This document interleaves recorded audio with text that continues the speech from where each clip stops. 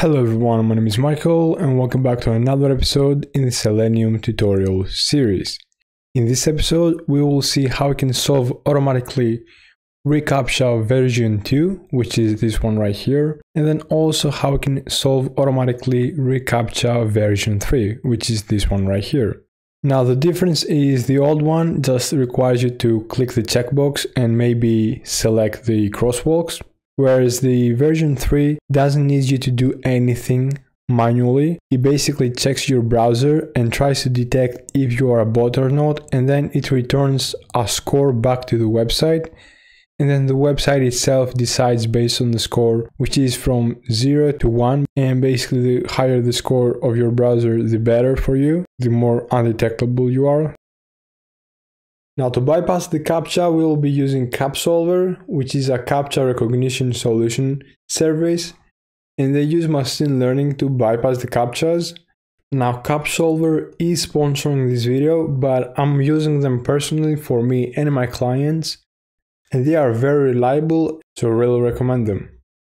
And as you'll see if we go on pricing, they are the cheapest in the market, or if not the cheapest, they are very cheap compared to other popular services. And yeah, as you'll see for reCAPTCHA version 2, the pricing is only 80 cents for a thousand requests, which most CAPTCHA recognition solution providers charge at least triple that or more. So they are very, very cheap. And as you'll see for reCAPTCHA version 3, it's $1 for 1000 requests. Again, it's very cheap compared to other services. And yeah, to sign up, use the link down the description. And after you sign up, you should get to a page like this one right here. Then click here to add credits. So you can add credits. And then you can select the amount. As you'll see, if you select a bigger amount, you'll also get a few extra credits. And yeah, that's based on how much you will be using it. So as you'll see, it tells you basically how many reCAPTCHAs you are getting.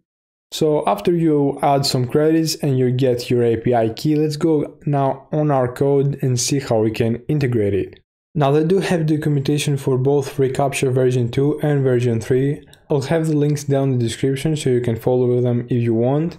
But since they are a bit complicated to follow, I prefer I show you my own method. And yeah, so let's see how we will integrate it. Okay, so first of all, click the link down the description and visit my GitHub repo. And I'll have both solutions, both for reCAPTCHA version 2 and version 3 down the description. Now there needs to be some configuration done in order for your script to work with your website, with your targeted website. So let's see what each script does. And first of all, as you'll see, we need to set up our API key here. So go ahead and copy your API key and paste it right here for both scripts. Then as you'll see, most of the script will be the same and I'll show you the differences right now and explain what each step does. So first of all, we need to configure here the settings for the CapSolver solve function. And as you'll see, it takes both of them take a type. So as you'll see, we can either specify the reCAPTCHA version 2 task proxyless and we have two types we can specify for each CAPTCHA, either the proxyless or the normal one. Now, when specifying proxyless, it's because you don't have a proxy, but if you are using a proxy with your script, you must change that to the normal one, v2 task. And then also, you'll see here, provide the proxy. You can also specify cookies for the version 2 a user agent and the is invisible. So again, if you are using specific cookies with the website, so you so for example, if it requires you to be authenticated, you must provide them with the cookies. Also provide the user agent you are using. And of course, is invisible. It's only if the reCAPTCHA is invisible. For now, I'll comment those out because we are not using them. But again, you can set them up if you want. Same thing for the version 3, but only the proxy is available as a parameter. So again, you must change this to reCAPTCHA version 3 task if you want to use a proxy. And yeah, page action, usually it's always homepage. Now let's see how we can fetch the website key because for each website, the website key here and the website URL, of course, is different. Now all you have to do is search for the CapSolver extension. As you'll see if you go on their website, it's on top right here. Go to Chrome Web Store or if you are using Firefox, you can click right here Again, I'll have the link down in the description. You can also download it as a zip file so you can integrate it with your code. But we will only be using a part of the extension, so let's install it.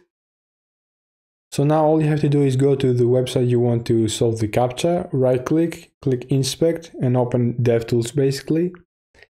And then as you will see, if we click more here, there is an option here called CAPTCHA Solver CAPTCHA Detector.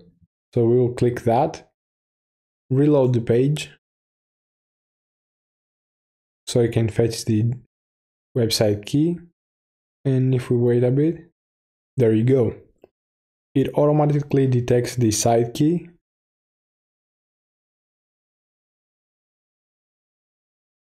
Okay, you might have to click here to try again because sometimes it doesn't find the exact key. The one we are looking for is this one right here. Examples hashtag version 3 scores. So yeah, this is how you find the key. Now, if we go here as well on the version 2 reCAPTCHA and do the same thing, open DevTools and go to CAPTCHA Solver CAPTCHA Detector, reload the page.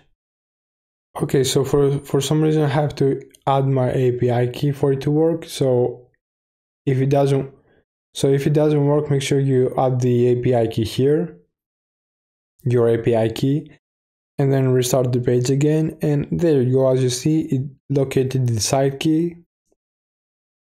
And if we go back on the code that's it. So yeah after you locate the website key you can provide it here. Okay so let's see now what the script does next. Now after we provide those parameters right here for both scripts it then gets the solution. And if it does get the solution successfully which most of the times it does as you will see it provides the token in an object and we to get that token we need to get the g reCAPTCHA response now after we get that response we will visit the website that we want to target and then basically for the version 2 CAPTCHA, all you have to do is wait until the CAPTCHA is loaded. And then as you'll see, if we go back and click inspect, and we go on the reCAPTCHA, basically when you solve the CAPTCHA manually, all it does is as you'll see right here on the text area, it updates the it updates the value parameter as you see, the value property. Let's restart the page so you can see. There you go, as you'll see by default, if we don't solve the CAPTCHA, this is empty. Now this is what we are trying to automate to, to get the response, the, the token that is generated from CapSolver and then automatically add it here for the version 2 on the value property from for this text area. So we are getting the text area from the ID right here, as you'll see. And then what we do is change the style to block so we can see it and then update the value with the token. And then all we have to do is click the submit button and it's done. Then the next part of the script is basically customized for each website. All this does is, is waits for the success message that we get after we click submit. And then for the version 3, it's similar. The only thing that, that changes is the selector. So as you see here, instead of the selector G reCAPTCHA response, we also have to do here the 10,000 and the same thing here. All we, all we do again is provide the token. Now for some websites, as you'll see, I have commented out the solution here. But for some websites, you might need to use this solution that is commented out. So instead of providing it via the text area, you can provide it using this function right here, window.verify reCAPTCHA, by calling that function and then provide the token. So if this doesn't work, make sure you try that as well. It depends on the website. And yeah, that's it. Again, after we, we provide the token on the text area, it's done. Now we don't have to click about in this case because it's not a, a visible CAPTCHA. So after the token is added, it does its thing automatically. So yeah, let's test them out. So let's run the reCAPTCHA version 2 script first. So as you see here, CAPTCHA Solver Solution, you got the token, it added it, it clicked submit, and that's it. As you'll see, result, verification success. Now it's pretty fast. And let's try reCAPTCHA version 3 as well. Now for the version 3 example, our goal is to get a score higher than 0.7. Oh, actually I realized why. This is because I'm using a VPN, so let me turn it off first. And let's try again. And again, VPN proxy is the same thing. And there goes. As you see, after I turned off my VPN, it worked just fine. And as you see, we get a score of 0.9, which is perfect. So yeah, that's how you do it. It's very simple. Again, make sure you click the link down description to sign up to this service. And yeah, with that said, if you enjoyed the video, click that like button, subscribe and hit that bell notification so you don't miss any of my future videos.